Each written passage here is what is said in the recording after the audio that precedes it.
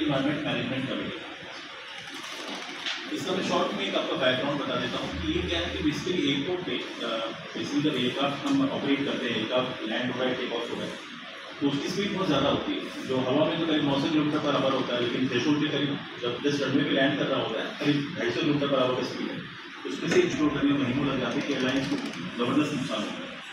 Not only birds आई जो हमारा international civil aviation organisation है, जो पूरे एयरपोर्ट्स को कंट्रोल करता है all over world. His head office uh,